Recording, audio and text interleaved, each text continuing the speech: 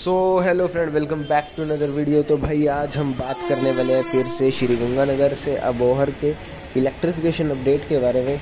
तो भाई, वैसे मैंने जर्नी नहीं की है तो कोई इलेक्ट्रिफिकेशन अपडेट नहीं है, लेकिन भाई, जो मैंने बात की थी कि 30 तारीख तक सीआरएस हो जाएगा 30 तारीख से पहले 30 सितंबर से पहले। तो भाई अक्टूबर के भी छः दिन हो गए सीआरएस नहीं हुआ।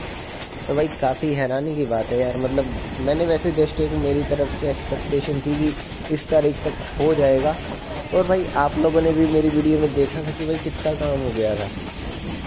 तो भाई इसके पीछे कुछ तो कारण है तो मैं उसके बारे में अभी मैं बात करूँगा कि क्या सीन है। तो भाई फ़र्स्ट ऑफ़ ऑल जिन्होंने भी इलेक्ट्रिफिकेशन अपडेट नहीं देखा तो आप देख सकते हैं। मेरे चैनल पर जाकर आपको वीडियो मिल जाएगी। लेकिन भाई, मैं बता ही देता हूँ कि वहाँ पर तीन चार पोल की वायरिंग का काम पेंडिंग छोड़ के सब काम कंप्लीट था S P S S P वगैरह। कंप्लीट था भाई मतलब ज़्यादा से ज़्यादा उसको आठ दस दिन में, पंद्रह दिन में भी किया जा सकता था। मतलब अब तक तो सी आर एस हो जाना चाहिए था। वो वीडियो मैंने तेरह तारीख को शूट की थी और चौदह तारीख को मैंने यूट्यूब पर डाल दी थी। यानी तेरह से पंद्रह, अट्ठाईस अट्ठाईस, उनतीस तारीख तक भाई सी आर एस हो जाना चाहिए था, लेकिन अब तक हुआ नहीं। तो भाई, पता नहीं क्या कारण है मेरे को। भाई क्यों पता नहीं C R S C R S के लिए इतना डिले क्यों कर रहे हैं या काम एकदम मेरे को नहीं पता कंप्लीट हुआ है या नहीं।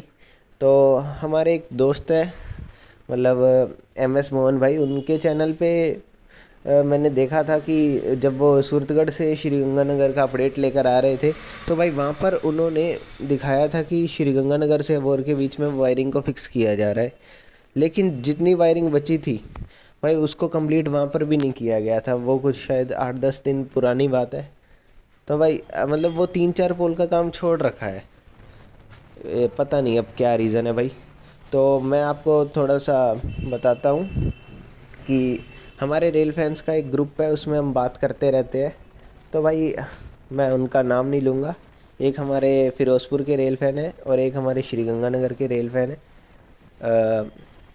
एक, उनको मतलब रेलवे के अच्छा न्यूज़ रहता है तो भाई उनसे उन मैंने अपनी वीडियो का लिंक शेयर किया था तो उन उन्होंने बोला कि अभी दो महीने लगेंगे सी आर एस होने में। मैंने कहा भाई क्यों दो महीने लगेंगे जबकि काम कंप्लीट है? मैंने उनको बोला कि नहीं भाई दो महीने तो नहीं लगेंगे हो जाएगा काम। पर मेरे को एक अंदर से भाई भाई कि ये इतने कॉन्फिडेंस होकर कह कॉन्फिडेंट होकर कह रहे हैं तो कुछ तो रीज़न होगा तो मे भी मे भी अंदर की बात उनको पता लग गई होगी कि कंप्लीट करने का प्लान दो महीने के बाद का ही मतलब मे भी दिसंबर तक का कर रखा है। अब पता नहीं क्यों भाई ये शायद कोई इवेंट का वेट कर रहे हैं कि इस इवेंट के दिन करेंगे काम कंप्लीट तो भाई ये रीज़न हो सकता है।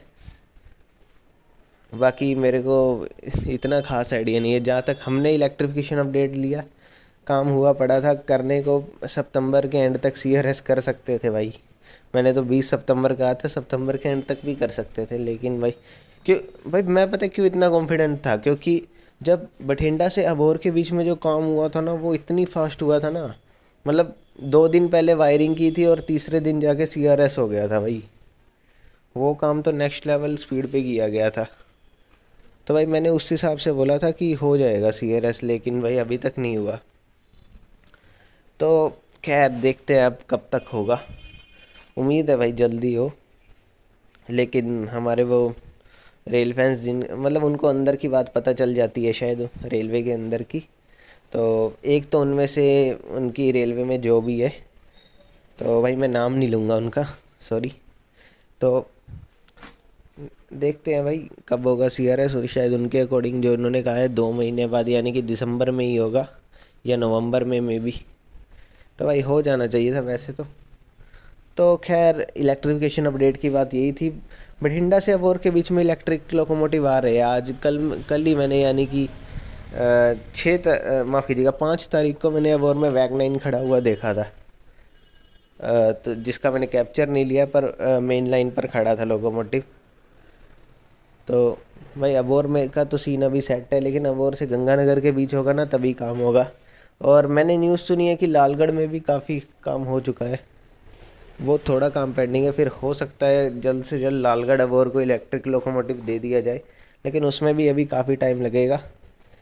मेरे अकॉर्डिंग एक आध मंथ लग जाएगा, लालगढ़ को मतलब सी आर एस हो सकता है, जल्दी हो जाए, लेकिन इलेक्ट्रिक लोकोमोटिव आने में अभी काफ़ी टाइम लग सकता है मेरे अकॉर्डिंग तो और एक लास्ट न्यूज़ के बारे में बात करना चाहूँगा, बीकानेर से अमृतसर एक्सप्रेस के बारे में।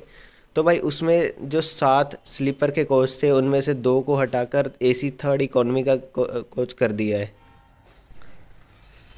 तो भाई वैसे एसी थर्ड इकोनॉमी को कोई पसंद तो करता नहीं है। मतलब सबको इतना खास क्योंकि उस, उसका किराया भी ज़्यादा है तो मतलब वो इतना ज़्यादा सक्सेसफुल हुआ नहीं कोच तो पता नहीं भाई ये क्यों लगा रजिस्ट्रेशन में। तो खैर, वो सब छोड़िए। तो और किसी अगर रेल अपडेट की बात करूँ तो रामेश्वरम से अजमेर जो हमसफ़र एक्सप्रेस थी, उसका एक्सटेंशन फिरोज़पुर तक काफ़ी पहले हो चुका था, काफ़ी पुरानी न्यूज़ है, लेकिन आज वो फ़र्स्ट डे चल रही है। फ़र्स्ट डे फिरोज़पुर आएगी। जब तक मैं ये वीडियो अपलोड करूँगा, आ चुकी होगी। तो भाई, आज की वैसे रेल अपडेट में यही न्यूज़ थी। तो उम्मीद करते हैं भाई सी जल्दी करें यार, क्या कर रहे हैं यार, ये क्या दो महीने मतलब नवंबर तक करेंगे। क्या सीन है यार। तो चलिए खैर, मिलते हैं नेक्स्ट वीडियो में, तब तक के लिए बाय बाय